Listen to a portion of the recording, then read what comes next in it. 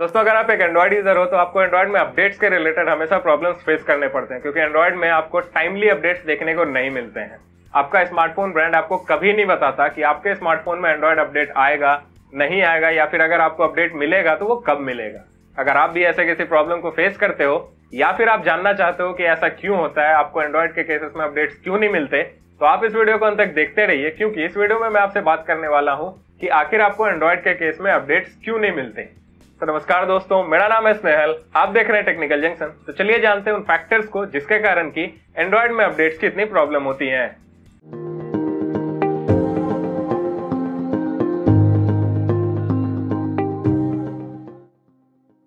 दोस्तों एंड्रॉइड अभी तक का सबसे वर्सेटाइल इकोसिस्टम है। एंड्रॉइड के केस में आपको कस्टमाइजेशन बहुत ज़्यादा देखने को मिलते हैं और यही कारण है कि एंड्रॉइड को कस्टमाइजेशन का किंग कहा जाता है। और साथ ही साथ आपको एंड्रॉइड में ऑप्शंस भी बहुत सारे मिलते हैं। एंड्रॉइड के केस में ब्रांड ऑप्शन हो या फिर प्राइस ऑप्शन हो, ये लिमिटलेस हैं। और ये सारे एडवांटेजेस हैं एंड्रॉइड की। लेकिन अगर अपडेट्स की बात करूँ तो यही एडवांटेजेस अपडेट्स के केसेस में डिसएडवांटेजेस बन जाते हैं। मतलब इन्हीं अपडेट्स के कारण आपको एंड्रॉइड फोन्स में अपडेट्स मिलने में प्रॉब्लम होती है। और मैं ऐसा क्यों बोल रहा हूँ? आप वीडियो देखते रहिए, आप भी समझ पाओगे। दोस्तों गूगल हर साल एंड्रॉइड का एक नया वर्जन लॉन्च करता है। आज से दो साल पहले लॉन्च किया गया था एंड्रॉइड नॉगट उसके बाद आया एंड्रॉइड ओरियो और जो अभी लेटेस्ट है, वो है एंड्रॉइड 9.0 जिसको कि बोलते हैं एंड्रॉइड पाई एंड्रॉइड यूज़र से रिलेटेड एक डेटा मैं आपसे शेयर करता हूँ। उससे आप खुद समझ पाओगे कि एंड्रॉइड इको में अपडेट्स की कितनी प्रॉब्लम है। दोस्तों, अभी जितने भी एंड्रॉइड स्मार्टफोन्स हैं पूरे वर्ल्ड में, उसमें से 30 परसेंट ऐसे स्मार्टफ़ोन है जिनमें की एंड्रॉयड नॉगट यूज़ हो रहा है। 18 परसेंट ऐसे स्मार्टफ़ोन है जिसमें की एंड्रॉइड ओडियो यूज़ हो रहा है और एक परसेंट से भी कम ऐसे स्मार्टफ़ोन है जिसमें कि एंड्रॉइड 9.0 एंड्रॉइड पाई यूज़ हो रहा है। मतलब आप ये समझ लो कि जिस एंड्रॉयड को एक साल पहले लॉन्च किया गया है, उस एंड्रॉयड की रीच अभी तक मात्र 18 परसेंट स्मार्टफ़ोन तक है। मतलब एंड्रॉयड ओडियो के भी अपडेट अभी तक 100 परसेंट एंड्रॉयड स्मार्टफ़ोन तक नहीं पहुँच पाए हैं।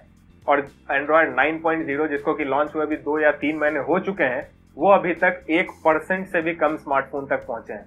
इससे आप खुद समझ सकते हो कि एंड्रॉयड में अपडेट्स की कितनी प्रॉब्लम है। दोस्तों गूगल जिस भी एंड्रॉइड को डेवलप करता है तो वो टारगेट करता है अपने पिक्सल सीरीज़ के स्मार्टफ़ोन को।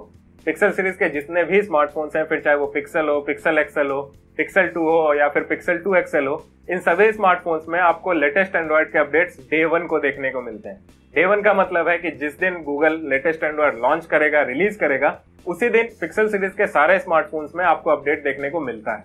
और ऐसा इसलिए हो पाता है क्योंकि गूगल को पता है कि उनके पिक्सल सीरीज़ के स्मार्टफ़ोन में कौन कौन से हार्डवेयर यूज़ किए गए उनको पता है कि उनके स्मार्टफ़ोन में कौन कौन से कंपोनेंट्स यूज़ किए गए इसीलिए बेस्ट पॉसिबल ऑप्टिमाइजेशन की जाती है और एंड्रॉइड रिलीज़ कर दिया जाता है और इसी कारण से फ़र्स्ट डे ही अपडेट मिल जाते हैं पिक्सल सीरीज़ के स्मार्टफोन्स को। दोस्तों, अब अगर बात करें दूसरे ब्रांड्स की, फिर चाहे वो सैमसंग हो लेनोवो हो वीवो हो, या फिर कोई भी और ब्रांड जो कि एंड्रॉयड पे बेस्ट है तो वो कभी भी स्टॉक एंड्रॉयड का यूज़ नहीं करता है। स्टॉक एंड्रॉयड से मेरा मतलब है वो एंड्रॉइड जो कि गूगल के पिक्सल सीरीज़ के स्मार्टफ़ोन में यूज़ हो रहा है। स्टॉक एंड्रॉइड से मतलब है कि वो प्योर एंड्रॉइड जो कि गूगल इन स्मार्टफ़ोन ब्रांड्स को प्रोवाइड करता है। लेकिन ये स्मार्टफ़ोन ब्रांड्स स्टॉक एंड्रॉइड का यूज़ नहीं करते अपने स्मार्टफ़ोन में। आप अगर देखना चाहते हो तो आप कभी भी पिक्सल सीरीज़ के स्मार्टफ़ोन में अगर एंड्रॉइड 8.1 यूज़ करोगे और उसको कंपेयर करोगे साउमी या फिर सैमसंग के किसी भी ऐसे स्मार्टफ़ोन में, जिसमें कि 8.1 एंड्रॉइड यूज़ हो रहा है तो वहाँ पे आपको चेंजेस देखने को मिलेंगे। फिर चाहे वो होम स्क्रीन में हो या फिर आइकन्स लेआउट में हो, दोनों स्मार्टफ़ोन में एंड्रॉइड 8.1 ही यूज़ हो रहा है, लेकिन फिर भी आपको चेंजेस देखने को मिलते हैं। क्योंकि जितने भी स्मार्टफ़ोन ब्रांड्स हैं गूगल को छोड़ के, वो सारे स्टॉक एंड्रॉइड के जगह कस्टम स्किन का यूज़ करते हैं एंड्रॉइड के ऊपर। कस्टम स्किन का मतलब है कि गूगल जिस भी एंड्रॉइड को प्रोवाइड करता है स्मार्टफ़ोन ब्रांड्स को, उसके ऊपर ये एंड्रॉइड स्मार्टफ़ोन ब्रांड्स उसमें चेंजेस करते हैं अपने अपने तरीके से। हर स्मार्टफ़ोन ब्रांड की हार्डवेयर अलग अलग होती है, किसी में एक तरीके का प्रोसेसर यूज़ होता है, किसी में दूसरे तरीके का प्रोसेसर यूज़ होता है उसके हिसाब से सॉफ्टवेयर को ऑप्टिमाइज किया जाता है, उसमें चेंजेस की जाती है।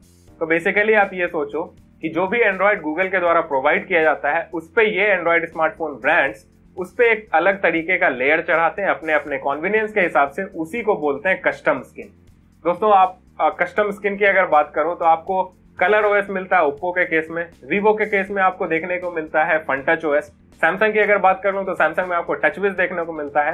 ये सारे बेस्ट है एंड्रॉइड के ऊपर ही, लेकिन इसमें चेंजेस किए गए हैं। सैमसंग ने अपने तरीके से चेंजेस किए एंड्रॉयड में तो उसको बनाया टच वेज ओप्पो ने अपने तरीके से चेंजेस किए तो उसको बनाया कलर ओएस वीवो ने अपने तरीके से चेंजेस किए तो उसको बनाया फन टच ओएस उसी तरह हर स्मार्टफ़ोन ब्रांड गूगल के द्वारा जो भी एंड्रॉयड प्रोवाइड किया जाता है, उसमें चेंजेस करते हैं। और उसका एक कस्टम स्किन तैयार करते हैं, जो कि एंड्रॉयड के ऊपर का एक लेयर होता है।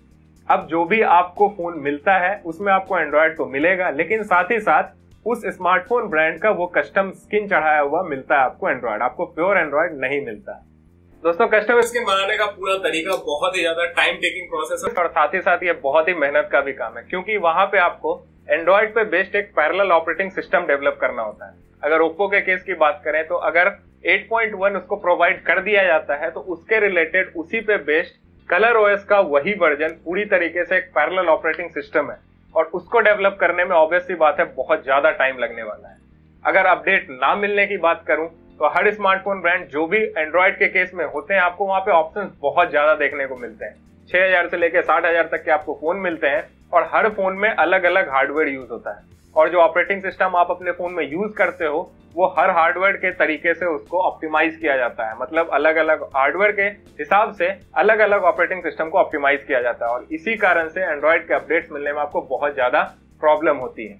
अगर सामी जैसे स्मार्टफ़ोन ब्रांड की बात करूँ तो आपको पाँच हज़ार, साढ़े पाँच हज़ार, फिर छह हज़ार मतलब हर पाँच पाँच सौ के अंतराल पे आपको एक नया फ़ोन देखने को मिलता है। और वो रेंज जाती है पचास हज़ार तक। तो उस बीच सामी के पास 50 ऐसे फ़ोन हैं जिसके लिए उसको सॉफ्टवेयर ऑप्टिमाइज करना है। तो आप खुद सोचिए कि उसमें कितना टाइम लगने वाला है।